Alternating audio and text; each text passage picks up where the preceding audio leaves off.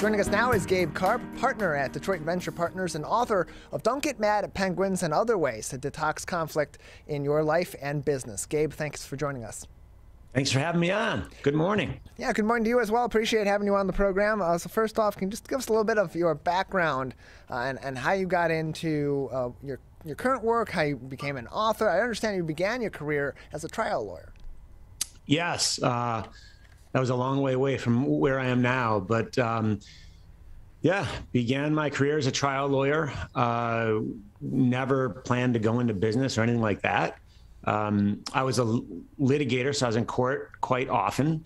Um, did a lot of commercial litigation, which is uh, what I call business divorce, um, and also some legal malpractice work. So our firm was the suing other lawyers for screwing up. Which, if you think about a lawsuit being contentious, those lawsuits were super contentious. Uh, but it was great. It was great training. You know, I mean, imagine cross someone who cross examines people for a living and who hates you. Uh, and you you just you learn a lot about anger and how the energy can flow in a room and in a dialogue and how to uh, you know at the time if someone was angry with me i tried to get them even more angry i tried to get them as angry as i possibly could because it would just work to my advantage um, and i was a litigator for about 10 years and then left the private practice law and joined a small startup which which was a whole other story that would take too long to get into now. But joined a small startup, maybe about 20 people or so when I joined, uh, and we grew um, pretty fast to over 500 people. And while I first started out as the legal guy, uh, pretty soon I was taking on lots of non-legal responsibilities, operational teams, you know, operations teams, and um, working with lots of leaders and helping grow other leaders in the company. And we started throwing off some cash, uh, so we started to look for other companies to acquire, and I headed up those efforts and did the M and A stuff on, on those, and then we acquire companies and integrate them. And throughout throughout that entire process throughout being a lawyer and then working in business anytime I would look backwards, maybe six months or a year to try to inventory how I had been spending my time, I was always gravitating toward conflict. Um, it used to be I was trying to create conflict and mix it up and stir it up. Um, but then in business, I was seeking out conflict, rooting out conflict to figure out where the friction points were so that we could eliminate them and just be more efficient and grow faster. And um, the same patterns of conflict I saw in litigation were recurring in business and in personal lives too. So it wasn't it, it, all the only common denominator was human beings working with one another, dealing with issues. And uh, I, I, started getting pattern recognition where I'd run into a problem and I'd say, wait a second, I've been in this situation before. It was different people, different dates, different facts, but it's the same structure of a problem. It's the same anatomy of the problem. And and I started working on some tools uh, to resolve them. And the great thing is, is that that the same tools that can resolve conflict in a lawsuit or in a in a really difficult issue dealing with a client um, can be applied in any walk of life. Um, and it doesn't matter if you're in the, I say, in the boardroom or in the courtroom or in the break room or in the parent teacher conference or the bar or the Thanksgiving dinner table with a with a drunk, angry uncle spouting off about politics. It's the same patterns and the same tools. Um, and then we sold our company. Uh, it was a successful exit, and since then I've been into venture capital um, and working with uh, the CEOs of companies that I'm on the boards of, and seeing the same patterns over and over again. Only now I've got a pretty um, pretty full um, portfolio of mistakes that I've made in the past. So, so I can see those patterns, and CEO tells me something's going on, and I say, "Oh yeah, I did that. I screwed that one up really bad." So I can certainly tell you, don't do what I did. maybe, maybe try this instead. And um, it's just really interesting to me how all of these things um, kind of come full full circle. And uh, again, same patterns. And I I have sort of identified what I call toxins in conflict. And these are things that naturally occur in human interaction uh, anger, fear, judgment, ego. And in the right amounts, those things are great. They drive progress. They they cause us to fix things that are broken. They help us avoid problems. Um, but if those elevate too much or they get too low, they become toxic, and the conflict becomes toxic. So I like focusing on detoxing the conflict and then taking the healthy conflict and leveraging it to, to drive success. Um, and if you think about it, probably any time in your life that you feel that you really grew from an experience or that you benefited from it, that was you working through conflict in a healthy way. Or maybe it was maybe it didn't work out well for you since you got from that um, put you in a much better position to deal with a similar conflict in the future uh, in a far better way. So, Gabe, when you mention good conflict.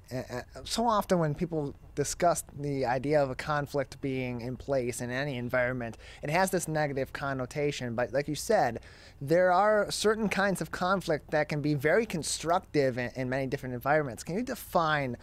What is, what, what is good conflict and how to recognize that okay, there's a conflict in my work situation, in my family situation, in my social life, but this is good. This can build something better in this relationship. Yeah, sure. Um, I, one premise to that question is that conflict is inevitable. And one of the myths out there, the common misconceptions, is that conflict is a bad thing and should be avoided. So I would say anyone who tries to avoid conflict is trying to avoid the inevitable. And that usually makes it worse. When you avoid a small conflict now because it's uncomfortable, um, that will allow it to fester and grow and develop into a much bigger conflict uh, that's going to hit you eventually.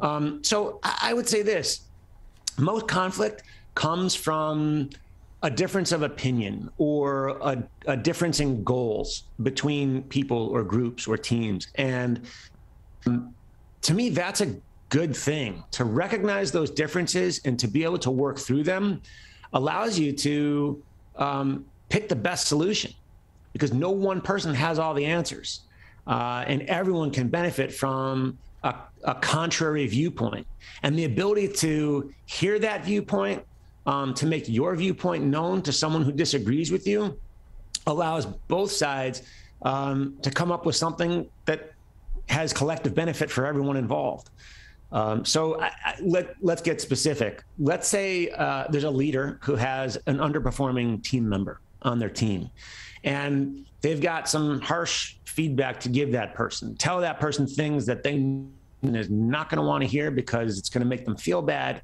um, and as a result. The leader says, "Well, I don't, I don't want to be disrespectful. I don't want to hurt that person's feeling, feelings." So the leader withholds the feedback to avoid the conflict. But that's not avoiding conflict. That's just allowing someone who is doing something wrong or could be doing something better to improve to continue making mistakes. That's not respectful. That's disrespectful. That's mean. That's like actually a cruel thing to do to another human being. Take a really simple example. If right before I came on this on this show, I was talking to someone and I had food in my teeth, like spinach in my teeth, and the person looking at me just didn't say anything and allowed me to come on here, like that'd be mean. I, that's something I want to know. So healthy conflict is is the kind of conflict where a leader can sit down with someone and say, "Listen, we've got a bit of a conflict here." But I want you to be aware of these things so that, that you can improve. And if you improve, then the team improves. And if the team improves, the company improves, and it's all good. And what can be difficult in, in the heat of the moment in a conflict uh, or, when, or in a discussion that can get a little bit heated because there is a conflict in opinion or a conflict in philosophy, or certainly in, in, if there's a conflict in the perceived execution of, of something in a business sense there can be this difficulty to take a step back, identify the situation you're in, and try to find the best route out for everybody involved, and identify what you what you have marked as those toxins. What are some what's some advice or some strategies that you have?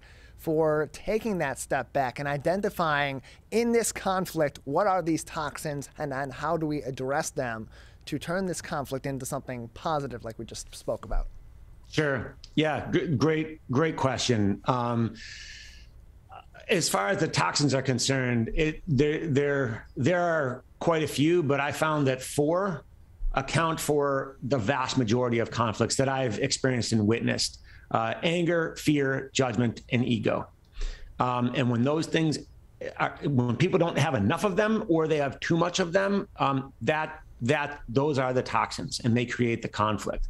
Um, but you also, at the beginning of your question, you touched on something that's really important, and that is in the moment, you know, it's hard because we get, we kind of get triggered inside, like we get amped up. And there are really good reasons for that. And it's very helpful to understand that. I mean, it's nature and nurture. Um, we're, we are socialized from a young age to shy away from conflict.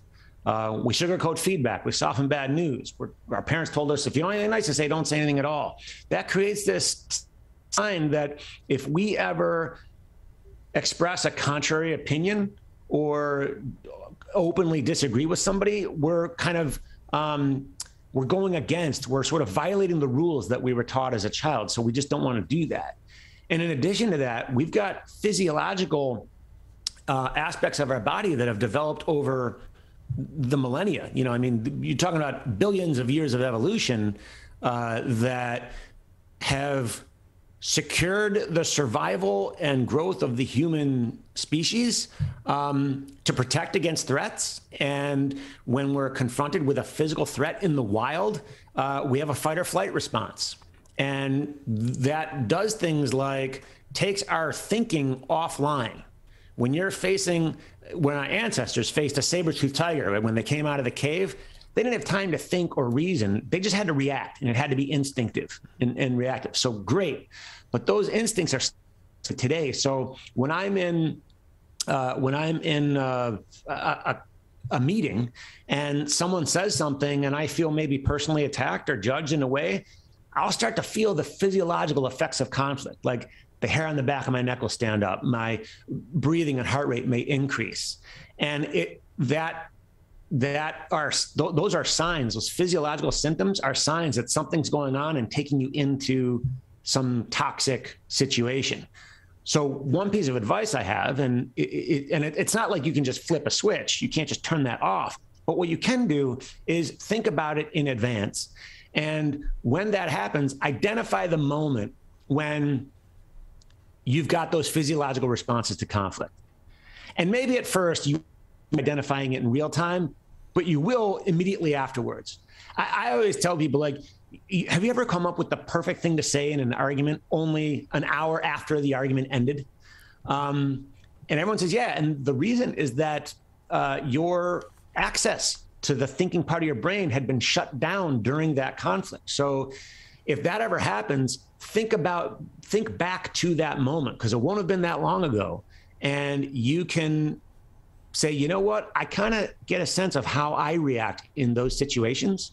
And the next time it happens and you say oh wait i feel like my breathing's getting rapid or i realize i don't like how this person's talking to me i don't you know i i, I don't feel as in control of my thoughts and my words right now if you can take literally just one breath and hold that space for a second or two, that's enough to disrupt that instinctive response and pull yourself into intellectual awareness.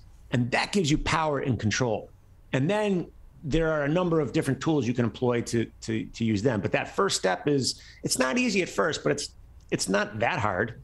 And if you do it three or four times, it like it, the learning curve is pretty sharp. So you get much better after your third time of doing it than you did after your first.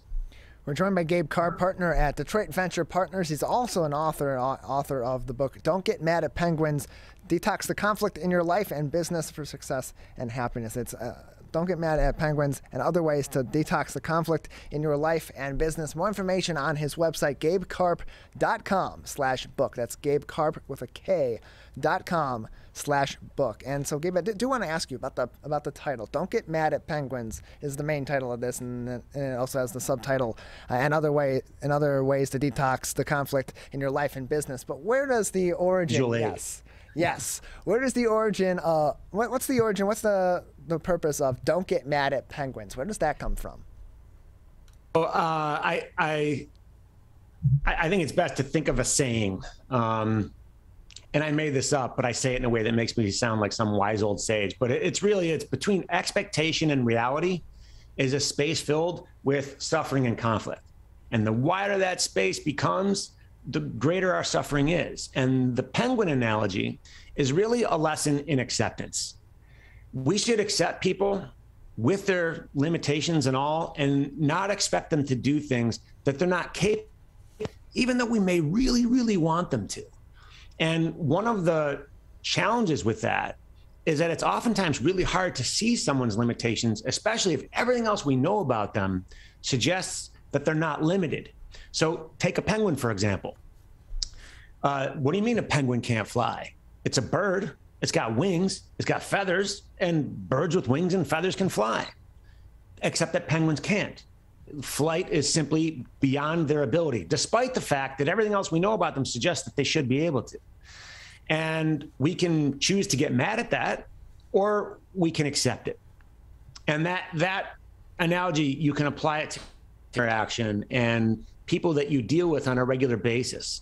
Um, and what, whatever the facts are, when you find that you are continually getting frustrated or angry or even fearful of someone in a similar situation over and over again because they're not behaving in a way that you want them to, it's very possible that that person is not making a choice. They're not doing it on purpose. Uh, the thing that you want them to do is beyond their ability. By Gabe Karp, partner at Detroit Venture Partners and author of Don't Get Mad at Penguins and Other Ways to Detox the Conflict in Your Life and Business, joining us on the Michigan Megacast. More information on his website, gabekarp.com slash book. That's gabekarp with a K dot com slash book. And uh, Gabe, if people are interested in picking up a picking up a copy of Don't Get Mad at Penguins, where can they find your book uh, online and, and even in some stores? Uh, as my publisher says, it, the book is available everywhere books are sold. Um, Amazon, Barnes and Noble, Books a Million, Walmart, Target, uh, Google. There's also an audiobook uh, narrated by me. Um, James Earl Jones wasn't available, uh, and and uh, that's available on Audible, audiobooks.com, Apple, uh, and a number of other platforms. Uh, so if, if you Google "Don't Get Mad at Penguins," you'll see a, all the results you need to to order it. And it's a it's a great uh, it's it's a quick read. Uh, and I'd say it's a it's a, a great investment for you know a few bucks. Uh, you can get some you can get a new perspective on something you've probably been dealing with for a long time. Yeah, take a couple of the pieces of advice from Gabe in today's program and expand on that with a full book of that of that sage advice. Gabe, thank you so much for joining us. Thank you. Thanks for having me. It's been fun.